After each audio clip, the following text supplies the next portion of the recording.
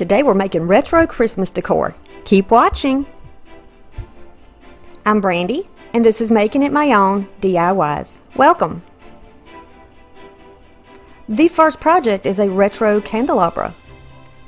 So, on a recent thrifting trip, I found this vintage candelabra.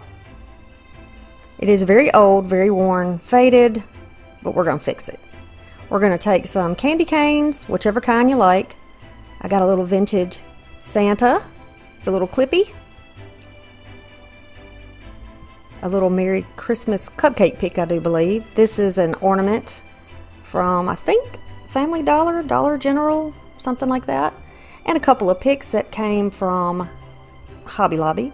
And these were 50% off. I did buy these.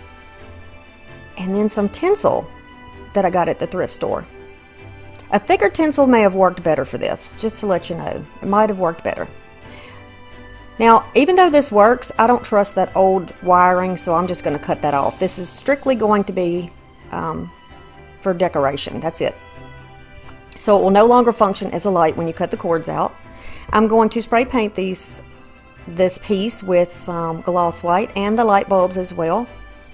And then I've got some little Christmas trees from Dollar Tree. And we're going to make these look thicker and snowier. So I've got the three different sizes in the bag. I'm going to take some of this Aleene's glue. I'm just using clear, but you could really use school glue. You could use Mod Podge, whatever you want. This is just really thick, and uh, I think this is going to work well for the project. Using one of these Dollar Tree brushes, I'm just pouncing it in and out of all of these bristles, all the way down to the wire that's holding those bristles in. Pouncing it all over to get a good even coverage of glue and then I'm going to sprinkle it with the snow. Now you can use glitter, you can use white glitter, you can use colorful glitter, whatever you decide you want to use for this, but this is vintage inspired, so it's not going to look exactly like uh, maybe some of the things you might see on Pinterest. I'm giving my own little spin to it. So see the difference? That really makes a difference. I'm going to do the same thing to all three of these. And right now they're on like a little wooden bottom, but those will come off. So I'm going to take those off before I use the project because to me that makes it look a little more rustic and that's not what I'm going for in this project.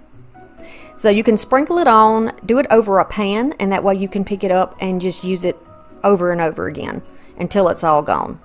And that way you're not wasting anything and then you can just empty it from a pan into a zipper bag or however you want to do that. And you can continue to use it. And if you're doing vintage projects, you'll probably want some type of snow or glitter to put on them. So now we're going to address Santa. Everything is going to be frosted, so Santa needs some frost too. I'm going to use that same glue.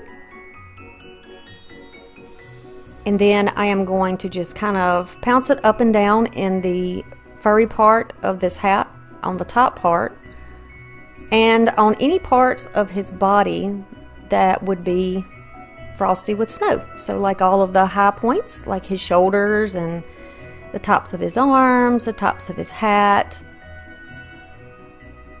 And then I will put that snow down in there. And see, I haven't had to use the bag yet. We just use what's in there. You can tap off the excess and then once it's dry, you can use a brush and brush that out of the uh, the other fabric if you want to. Clean his face off and such. So there I'm putting some snow on his shoulder. I love this snow and I wish I could find more of it because it's very, very fine. It's not chunky like some of the snow that you see. Um, and it's extremely lightweight. I like it. But I got it at the thrift store, so I'm not real sure where it comes from. I'll have to look it up. Alright, so once Santa is done, I've decided Santa needs the ball on his hat. Now this might be not the traditional thing. Santa may not have had, back in the 50s, a ball on his hat, but I thought he needed it, so I just added a little pom-pom piece. And then I'll frost it as well. Now we're going to work on this little paper ornament. It's just paper and then it has like a pipe cleaner that's silver around the edge. So really you could print something out, maybe of Pinterest. By the way, I have my Pinterest linked and lots of free printables are in there. They are created by other creators and they're really, really good. So if you can't find an ornament, you can find something there that you might want to use. You can use glitter or snow. or you can just use it plain. But like I said, everything's frosty for this, so I want to keep it nice and frosty. I'm not putting snow in his mouth or on his face, just on the beard, the hair, the mustache. And I love this little vintage Santa face. It's so cute and whimsical. And it looks a lot like the, the little pick that I put um, all the snow on. I think his face is very similar to it. Before it's dry, you can just go around the edges with your finger to clean it up. This is how it looks once it's all painted white, but you can paint it any color you like. Then I'm going to take some Mod Podge and put it over each of those bulbs.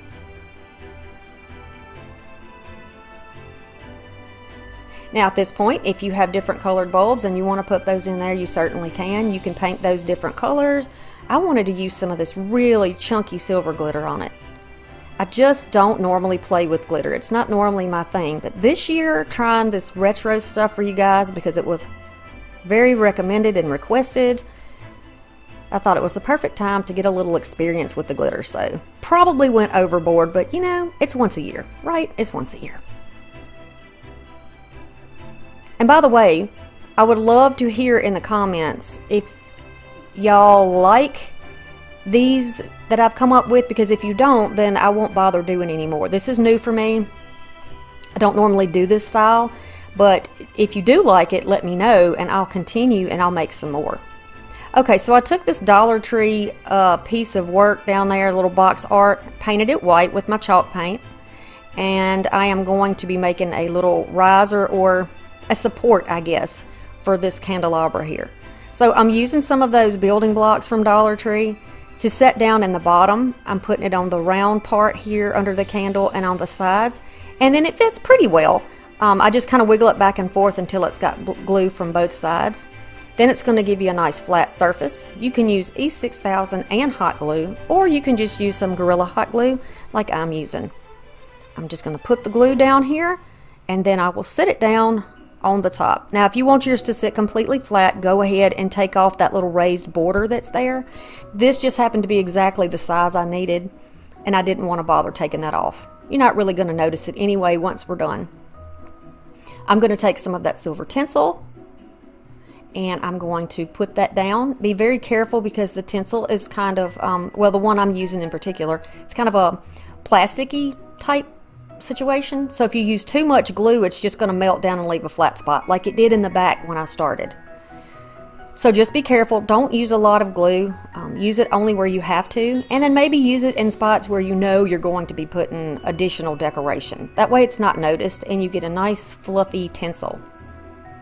I think this would be pretty, if you did this project in the pastels like turquoise and pink and baby blue, uh, this would be really cute for this project too.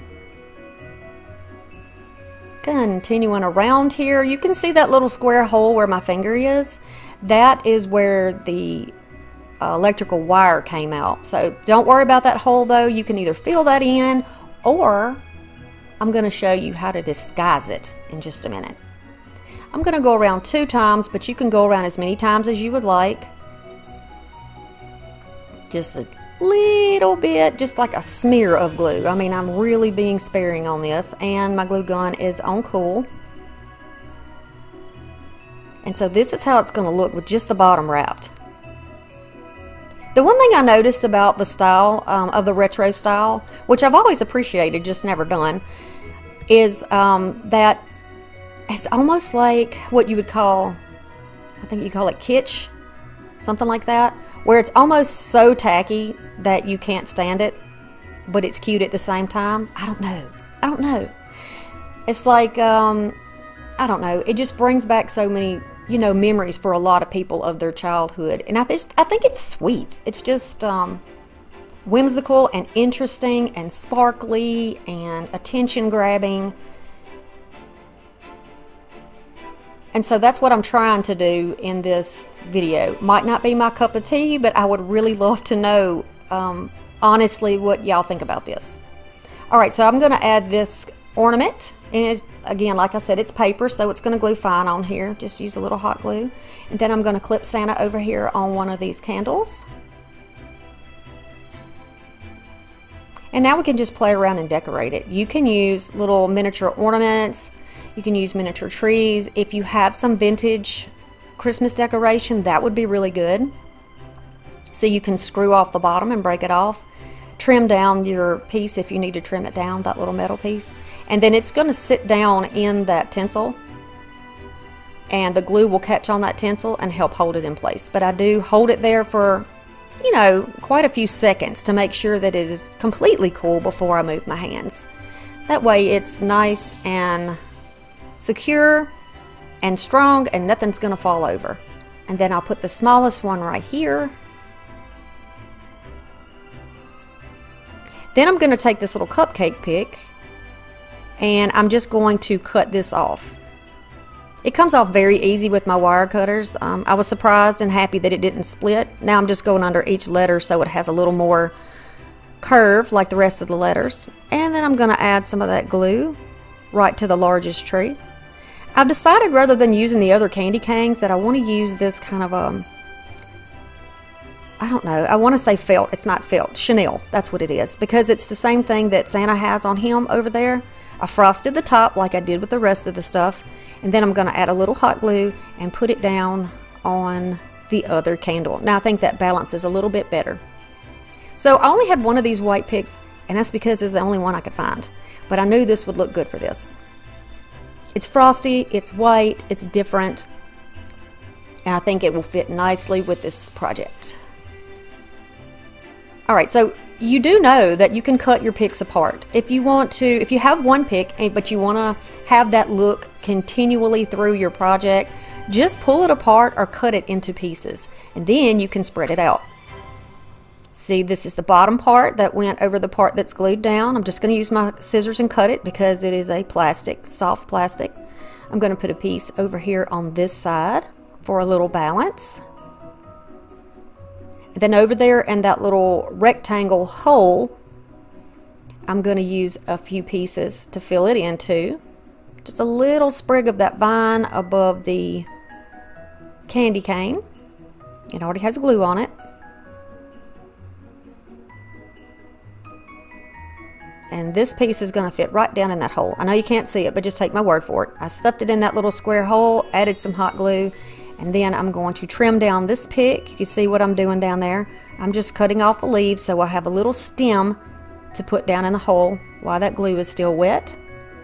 And then hold it in place for a second until it sets up. And because I love the dimension of these little, I don't know what these are, these little pom-pom looking plastic branch things, I'm going to add those here and there in the project. There's always so much going on in this vintage stuff, right? I hope that is a look that you can appreciate because we're going to go nuts on this next project, believe me. Alright, using some more Mod Podge, I'm going to go around the base of this now and sprinkle some snow on it so that everything looks like it's got a, a little layer of snow.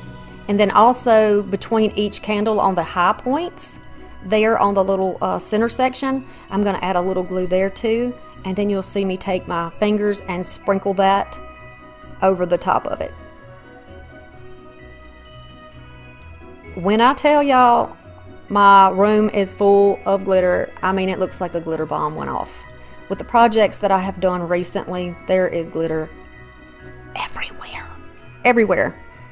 But I don't mind it. It's fun. I'll just grab the vacuum cleaner and then we'll just call it pixie dust when I walk out of the house with it on my face. Yeah, we'll just call it that. I'm so joyful that it's shining through my skin. But the look of it is really nice, right? So I have snow and glitter everywhere, but it's making me very happy. You can watch my videos on Mondays and Thursdays at 5 Central Standard Time, and the admission is free.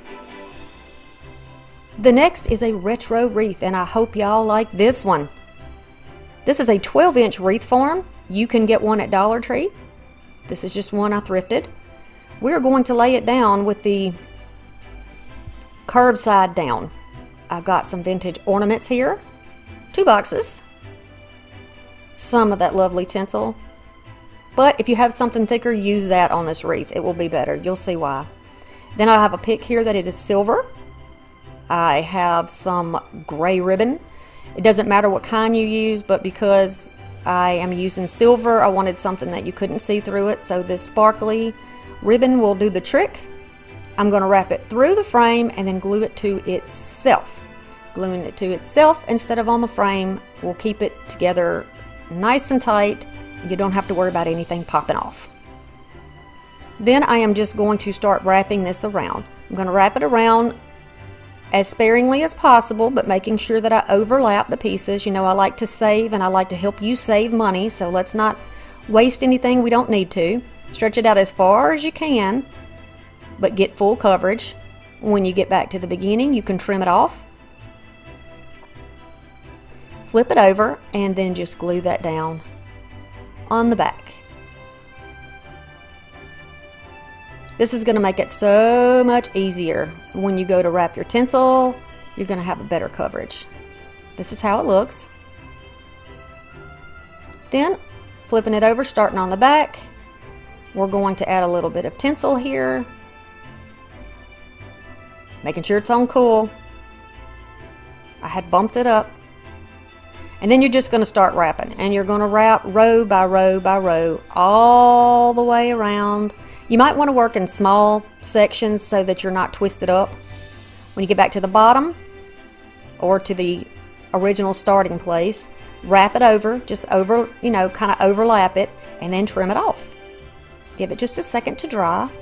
Then I have some of this that I took off of another project, probably something from Dollar Tree, and I'm just going to wrap this around leaving some pretty big gaps in between. This is just adding some additional support and color that really in the end doesn't matter because you can barely see it.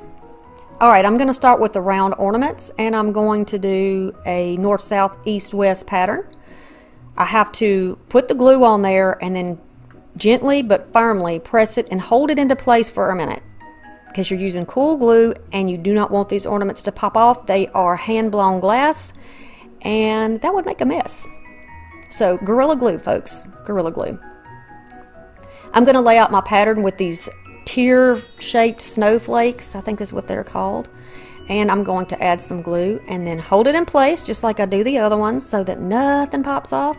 And because we have the curved edge on the table and the top part is the concave section, it kind of makes you feel like it's resting in a curve, which gives it a little more support.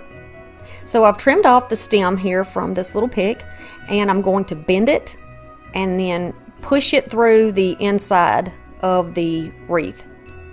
I'm going to add some glue here and just make sure that it doesn't fall off. Then I'll take some of these ornaments, well these lights. These are old lights that I got from Goodwill that probably don't work anymore. But they add color and they really do. I, I, if you're looking at this going, what in the world is she doing? This is the ugliest thing I've ever seen. Please go over to Pinterest and look at some of the wreaths. One thing I know about it is the more the merrier when it comes to these things. As much vintage stuff as I can find and poke in this wreath, I'm putting it in there. This is like a collage, like a Christmas collage, if you will. And I am just filling it up with all kinds of stuff. My husband loves this one. He loves it. And I know that somebody out there watching is also going to love this and find inspiration. If this is not something that you would necessarily do on your own, that is fine, but I hope it has brought you back some good memories. So I'm looking around just to make sure I have enough stuff. And you know what? I can do better. So I'm going to take some of this table scatter and I'm going to add it here and there. Because to me, it follows the theme.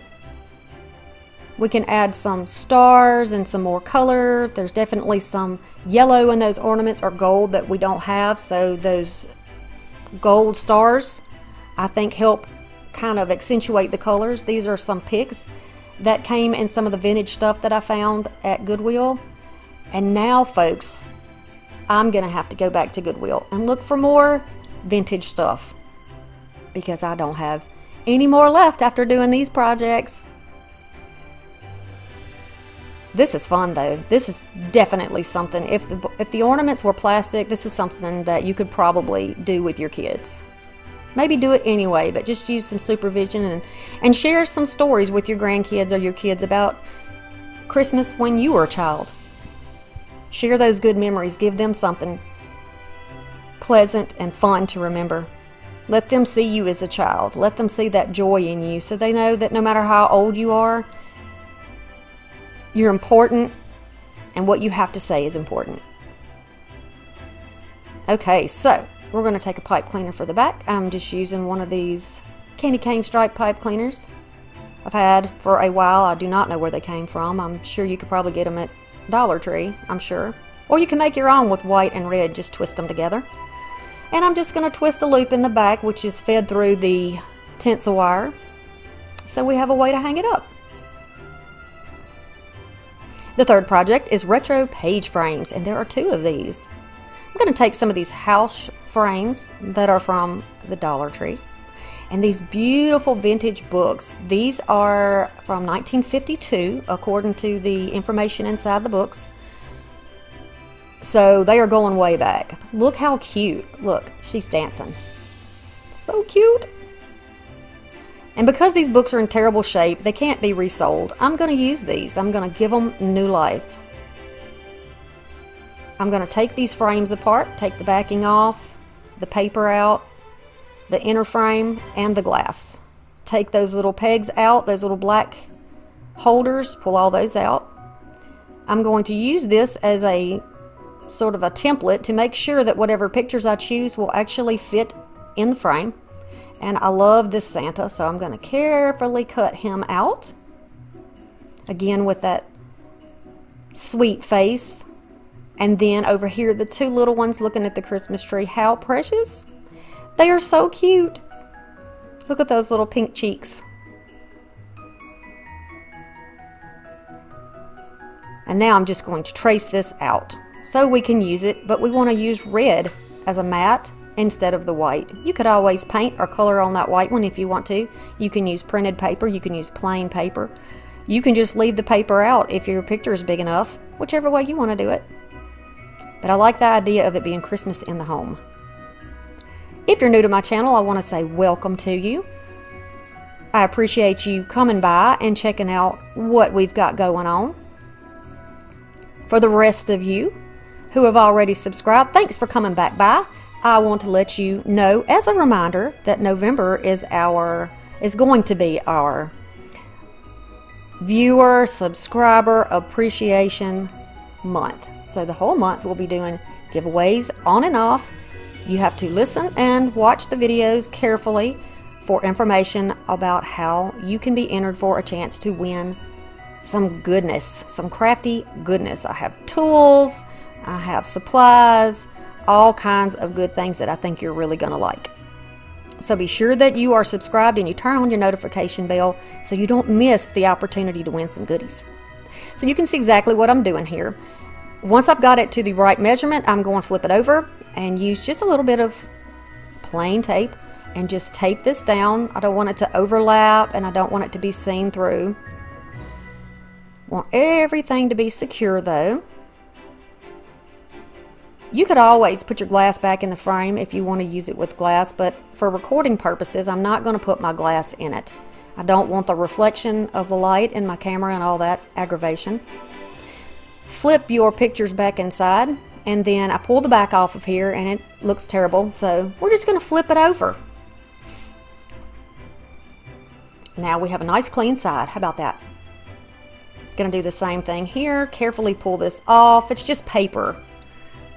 You can save those stands to use on other projects if you need to. I save everything. All right, and then taking some of that Gorilla Glue, I'm just going to put this all around the edges. And this is going to seal it into the frame without all of popsicle sticks and all of that business on the back. This is going to seal it down and you don't have to worry about it. If you leave it laying there, the glue will seep down where it should and it doesn't even come through on the other side. Same thing here all the way around until we get back up to the top. Once that glue is cooled, we're going to find a way to hang it. So either you hang it or you're going to use it as a stand, and I like the idea of using it as a stand. I got some garland here. I'm going to cut that two pieces off. These are snowflakes. I'm just cutting off the cord so you can't really see it. They'll look more like just a regular embellishment. And then I'll take one snowflake for each of the houses And you can do this too. Or you can decorate that little spot up top if you wanted to. You could do a little, a tiny swag. You could put a pine cone and however you want to do it here. But because this is supposed to be sort of retro theme, I don't want to do too much of the natural nature type stuff because you didn't really see that back then. So here, here they are, and I like them. I like them with the gold on there. I think they look nice. Using some building blocks. Now, these are bigger than the ones you get at Dollar Tree, but the ones from Dollar Tree will work. I'm going to put it in the back, push my thumbs against the edge of the block and the bottom of the frame to make sure it's the right level and it will stand up. And that one is working. Then I'm going to go over here and do it to the next one. Press it down, making sure it's even, and then I'll stand that one up.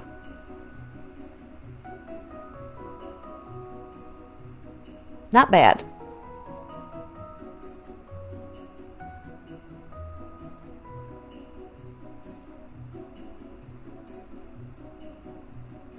Just as a reminder, would you please let me know do you like vintage? And is this something that you would like to see more of from me? Because I am going to be going today for sure to Goodwill and I am hoping that I can find some more pieces.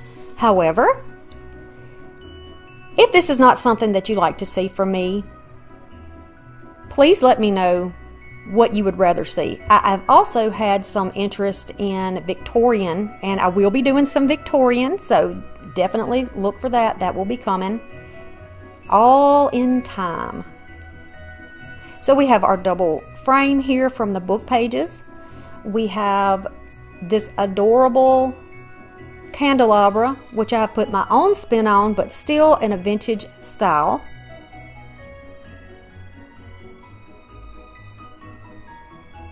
So many different options with this project, different ways you can do it to really make it your own.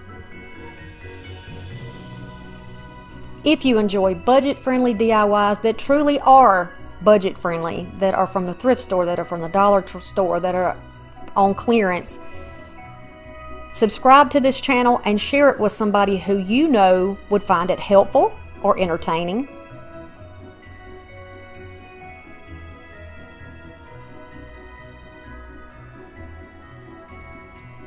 Tell me which one of you, these projects was your favorite. Do you have any memories of projects like these, of, of this type of decor? Do you have any memories of Shiny Brite bulbs, these vintage bulbs or ornaments? You know, did you have the old tree that had the, I don't remember what it was called, but I think it was a silver tree and then it had the little spinning wheel that had the lights that changed the colors? Or did you have the type of tree that had the little twinkly lights on it? I would really, really love to know. I love sharing stories and hearing what you all have to say. Your stories are so precious and they are so appreciated. Thank you so much for stopping by, and I'll see you again soon. Bye.